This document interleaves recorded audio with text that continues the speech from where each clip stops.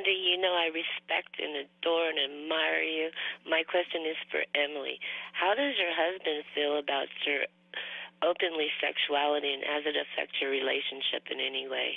Wait, my open sexuality? yes. yes. What does that mean? What, I don't know what that Well, I don't know either. You mean like the sexy dance and stuff like that? You- Dance, uh, being more open. He seems more. He, well, he, he's definitely more conservative than I am. I mean, he's Mormon. That's not a secret. But um, he's he's never told me to dress differently or tried to change me or anything. So I, I've always just been myself. And that was it- when we went into our marriage. I was like, I'm not changing. I'm not converting. I'm not like this is who I am. So right. And see, that's the, a lot of the part we don't see, and I'd Right. like to see that. Yeah. Yeah, I will tease. Shane does come to the reunion. Yeah. And uh, I can- coming up